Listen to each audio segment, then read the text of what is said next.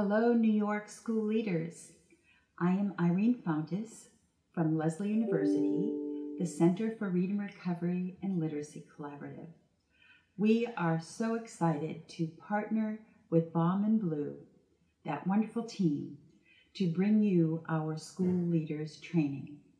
If you are a central office administrator, a school principal, an assistant principal, a coach, a teacher leader in your school, you will find that this seminar will transform your understandings and your ability to lead your school in new ways.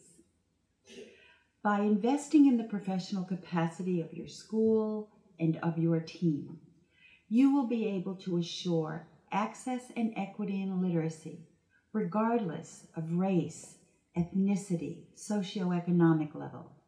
We need to do this together.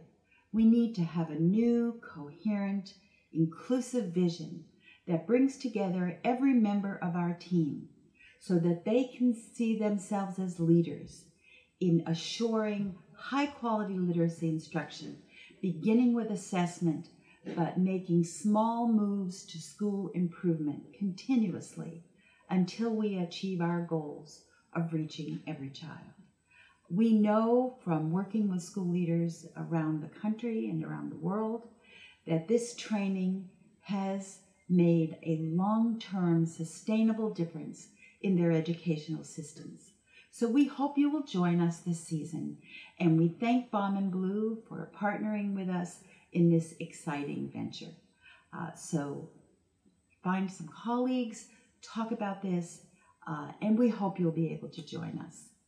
It will be a virtual experience that will be high quality with a great variety of resources and tools.